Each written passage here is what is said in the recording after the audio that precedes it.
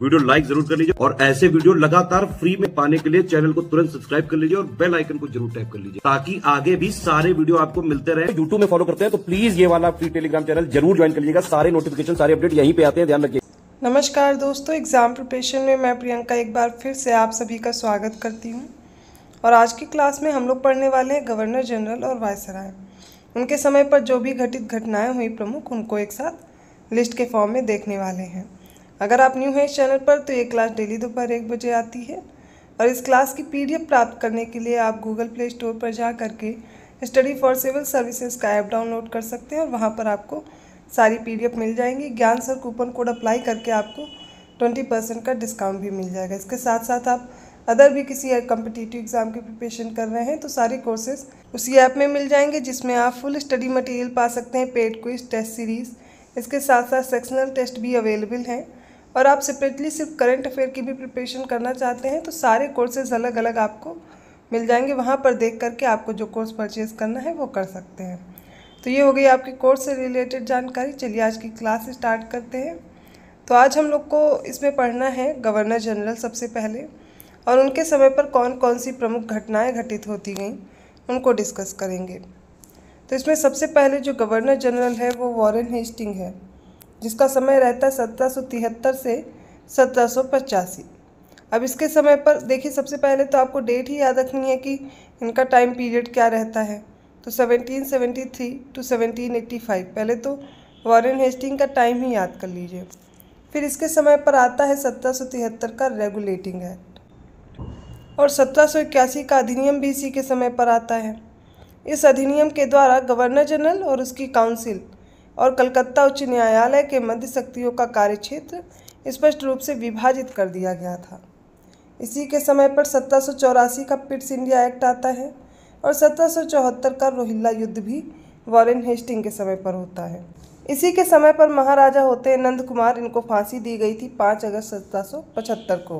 प्रथम मराठा युद्ध याद रखिए तो 1775 से सत्रह सौ बयासी में होता प्रथम आंग्ल मराठा युद्ध।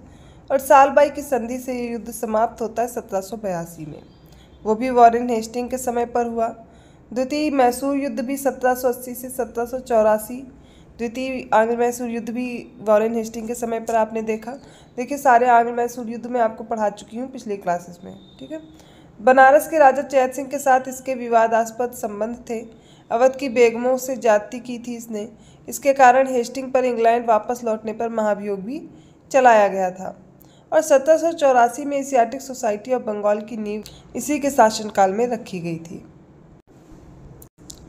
इसके समय पर आप देखेंगे रेगुलेटिंग एक्ट जो सत्रह सौ तिहत्तर का था, इसके तहत ब्रिटिश संसद के द्वारा बंगाल में पहली बार कॉलेजिस्ट सरकार की व्यवस्था की गई थी और इस सरकार में अध्यक्ष होते थे और चार अन्य सदस्य होते थे, इनका भी प्रावधान किया गया था। अध्यक्ष को कहा गया गवर्नर जनरल। ठीक है? तो यहाँ पर अध्यक्ष का पदनाम अलग कर दिया गया, गवर्नर जनरल।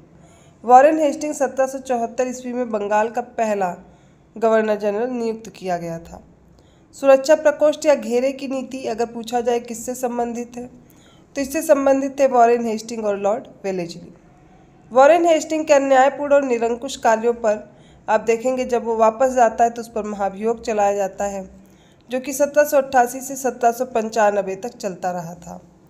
तो ये बात होगी वॉरेन हेस्टिंग की, जो बंगाल का प्रथम गवर्नर जनरल था। इसी के समय पे आप देख रहे हैं, आंग्ल मराठा युद्ध होता है, द्वितीय आंग्ल मैसूर युद्ध होता है। बंगाल में एशियाटिक सोसाइटी की स्थापना होती सत्रह में। तो कुछ प्रमुख घटनाएँ हैं, याद रखना है, जिनसे कि आपसे प्रश्न पूछ लिया जाए, या फिर इसको ही क्रोनोलॉजी में लगाने को आए गवर्नर जनरल को तो आपको डेट याद रखनी है। वॉरेन हेस्टिंग के बाद आपको याद रखना है कार्नवालिस को, जिसका समय रहता है सत्रह सौ छियासी से सत्रह सौ तिरानवे। द्वितीय आंग्ल मैसूर हुआ वॉरेन हेस्टिंग के समय पर। तो तृतीय आंग्ल मैसूर युद्ध हो जाता है कॉर्नवालिस के समय पर और श्रीरंगपट्टम की संधि से समाप्त होता है। तो इस युद्ध का समय क्या था? 1790 से सत्रह सत्रह में श्रीरंगपट्टम की संधि के साथ ये युद्ध समाप्त हो जाता है। कॉर्नवालिस कोर्ट का भी निर्माण इसने कराया था सत्रह सौ तिरानबे में, जिसमें कई न्यायिक सुधार किए गए। सामान्य प्रशासन का राजस्व प्रशासन से पृथककरण किया गया। बंगाल में स्थायी बंदोबस्त इसी ने लागू किया, बहुत बार पूछा गया है। सत्रह सौ तिरानबे में कॉर्नवालिस के द्वारा। प्रशासन का यूरोपीयकरण सिविल सेवा का प्रारंभ भी कॉर्नवालिस ने किया। 1790 से सत्रह सौ बानबे ईस्वी के बीच भारतीय न्यायाधीशों से युक्त जिला फौजदारी अदालतों को समाप्त किया गया और उसके स्थान पर चार भ्रमण करने वाले न्यायालय बनाए गए, तीन बंगाल के लिए और एक बिहार के लिए। इसी कॉर्नवालिस ने भारत में कानून की विशिष्टता का नियम भी लागू किया था और इसने न्यायिक सुधारों को सत्रह ईस्वी में अंतिम रूप दे करके कॉर्नवालिस संहिता का निर्माण कराया था, उसका रूप दिया। कॉर्नवालिस के बाद अगला जो गवर्नर जनरल आपको याद रखना है, वो है जॉन सोर। इसका समय रहता है सत्रह से सत्रह ईस्वी। तो इसी के समय पर सत्रह सौ तिरानबे का चार्टर अधिनियम आता है। निज़ाम और मराठों के बीच जो खुर्दा का युद्ध होता है, सत्रह सौ पंचानबे में, वो जॉन सोर के समय पर ही हुआ था। इसके बाद इंपॉर्टेंट है, वेलिजली को याद रखना और इसका समय था सत्रह सौ अट्ठानबे ईस्वी से 1805 तो टाइम पीरियड ज़रूर याद रखिएगा। इसके समय पर आती है सहायक संधि, इसी ने प्रारंभ किया वेलिजली ने सत्रह सौ अट्ठानबे में। सबसे पहले यह संधि हैदराबाद के निज़ाम के साथ किया गया था।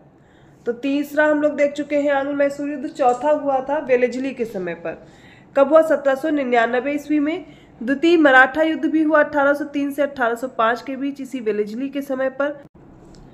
वेलेजली के द्वारा तंजौर 1799 में, सूरत 1800 में, कर्नाटक 1801 में इन जगहों का, इन क्षेत्रों का प्रशासन सीधे अपने हाथ में लिया जाता है। और 1802 में इसी के समय पे होती है बसीन की संधि। अब याद ये करना है कि वेलेजली के द्वारा जो सहायक संधि लागू की गई थी, इसके तहत कौन कौन से राज्य थे?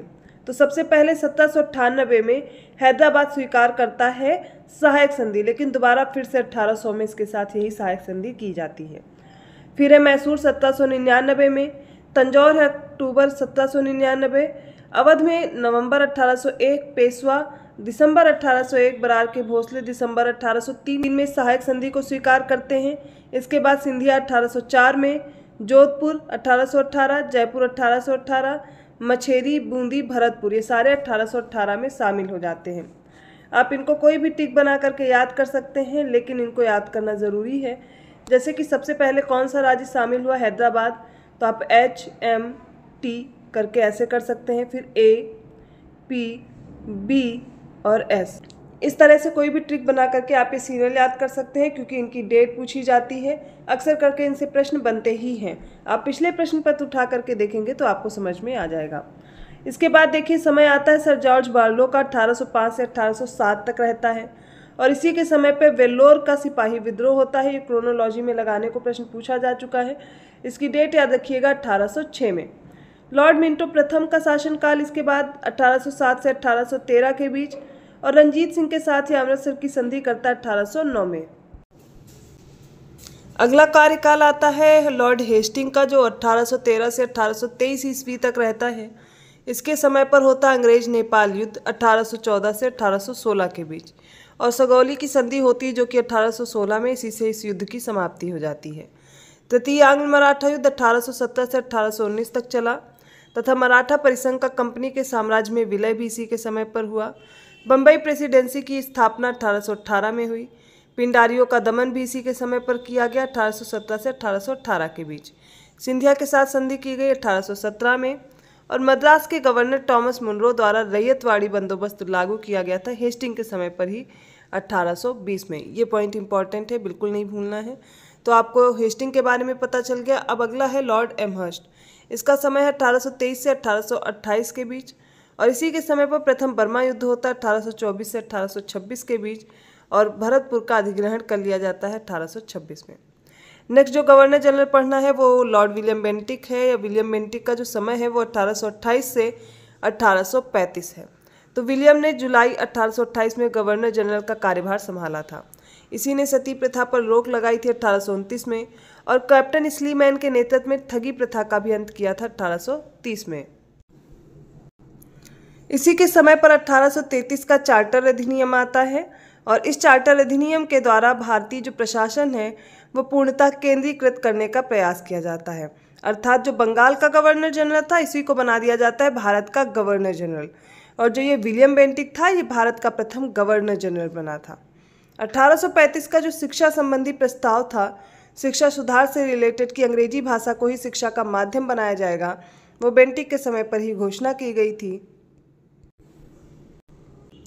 इसके समय पर ही मैसूर, दुर्ग और कछार। 1831 में मैसूर, दुर्ग 1834 में और कछार 1834 में इन सबका कंपनी साम्राज्य में विलय हो जाता है और यह रंजीत सिंह के साथ निरंतर मित्रता की संधि जारी रखता है। कॉर्नवालिस द्वारा स्थापित प्रांतीय पीढ़ी और भ्रमणकारी जो न्यायालय थी, इनकी समाप्ति कर दी जाती है और राजस्व आयुक्तों की नियुक्ति कर दी जाती है।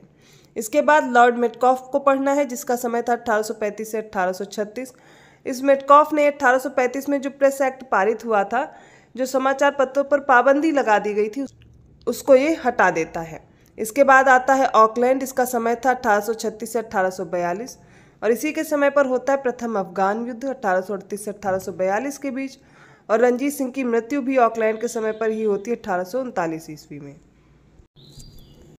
नेक्स्ट गवर्नर जनरल है एलन बेरो, इसका समय था 1842 से 1844 इसके समय पर चार्ल्स नेपियर के नेतृत्व में सिंध का विलय हो जाता 1843 में और ग्वालियर के साथ युद्ध होता 1843 में। फिर आता है हॉर्डिंग प्रथम 1844 से 1848 ईडी तक। प्रथम अंग्रेज़ सिख युद्ध इसी के समय पर हुआ, लाहौर की संधि इसी के समय पर हुई। तो प्रथम अंग्रेज़ सिख युद्ध हुआ कब? 1845 से अठारह ईस्वी। लाहौर की संधि होती है अठारह सौ छियालीस में। सामाजिक सुधार यथा बालिका हत्या तथा नर बलि प्रथा पर रोक भी लगाता है। फिर आपको डलहौजी के बारे में पढ़ना है। इसका समय था अठारह से अठारह सौ छप्पन।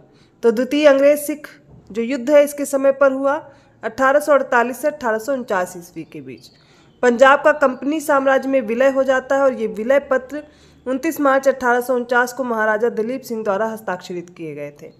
निचले बर्मा या पेगू का अधिग्रहण भी डलहौजी के द्वारा किया गया। कई बार पूछा गया, अठारह सौ बावन में क्रोनोलॉजी में लगाने के लिए आते हैं ये सारे जो फैक्ट्स हैं। इसी के समय पर व्यवगत का सिद्धांत आता है, जो कि जिसके अंतर्गत सबसे पहले सतारा अठारह में, जैतपुर, संभलपुर, अठारह में, बघाट 1950 में, उदयपुर अठारह में, ये बघाट भी होगा 1850 में, ठीक है? झांसी अठारह में, नागपुर अठारह सौ चौवन में, अवध अठारह में, इनका कंपनी साम्राज्य में विलय कर लिया जाता है। वुड का शिक्षा संबंधी डिस्पैच आया था अठारह में, तथा स्थानीय भाषा के स्कूलों तथा सरकारी कॉलेजों की स्थापना भी की गई। इसी के समय पर आता है रेलवे माइन्यूट, जिसमें अठारह में बम्बई से ठाणे के मध्य प्रथम रेल चली, दूसरी चली थी अठारह सौ चौवन में कोलकाता से रानीगंज। टेलीग्राफ और डाक सुधार भी इसी के समय पर हुआ। चार हज़ार मील लंबी टेलीग्राफ लाइन द्वारा कलकत्ता बम्बई मद्रास, पेशावर को आपस में जोड़ा गया। और दो पैसे के शुल्क पर ही राष्ट्रीय डाक सेवा प्रारंभ कर दी गई थी। दलहौजी के समय पर गंगा नहर को खोलने की घोषणा की गई अठारह में। प्रत्येक प्रांत में लोक निर्माण विभाग की भी स्थापना होती डलहौजी के समय और विधवा पुनर्विवाह अधिनियम बीसी के समय पर आया था अठारह में। फिर बात करते हैं कैनिंग की, अठारह से अठारह ईस्वी तक रहता है। अठारह में कलकत्ता, मद्रास और बम्बई में तीन नए विश्वविद्यालय की स्थापना इसी के समय पर होती है। और इसी के समय पर होता अठारह का विद्रोह। तो यहाँ तक हमने गवर्नर जनरल को पढ़ा और ये बाद में बन जाता है भारत का वायसराय कैनिंग ही तो इसके आगे जो भी वायसराय बनते हैं वो हम लोग कल वाली क्लास में डिस्कस करेंगे। अभी तक जितने भी गवर्नर जनरल पढ़े उनकी डेट ज़रूर याद कर लीजिए। उनके समय पर महत्वपूर्ण जो घटनाक्रम हुए, उनको भी प्रिपेयर कर लीजिए। इस क्लास की पीडीएफ भी आप पा सकते हैं, या अदर कोई कोर्स परचेज करना चाहते हैं तो डिस्क्रिप्शन बॉक्स में नंबर दिए गए हैं, आप कांटेक्ट कर सकते हैं, या फिर गूगल प्ले स्टोर पर जा करके स्टडी फॉर सिविल सर्विसेज़ का ऐप डाउनलोड कर लीजिए।